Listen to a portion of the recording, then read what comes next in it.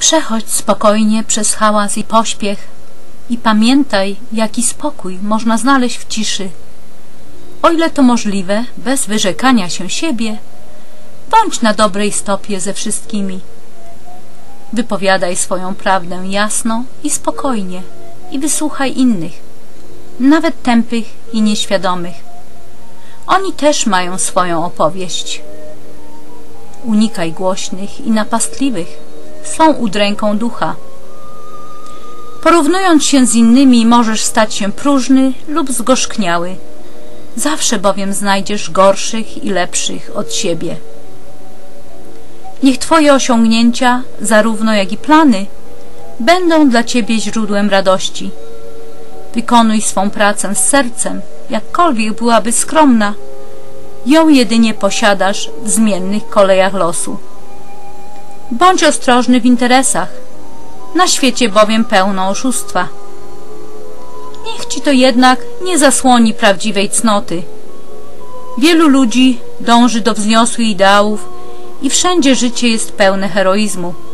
Bądź sobą, zwłaszcza nie udawaj uczucia, ani też nie podchodź cynicznie do miłości, albowiem wobec oschłości i rozczarowań ona jest wieczna jak trawa.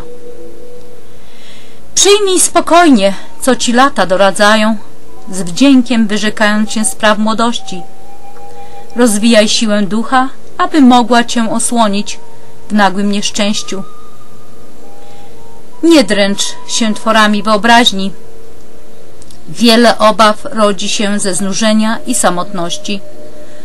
Obok zdrowej dyscypliny bądź dla siebie łagodny. Jesteś dzieckiem wszechświata nie mniej niż drzewa i gwiazdy.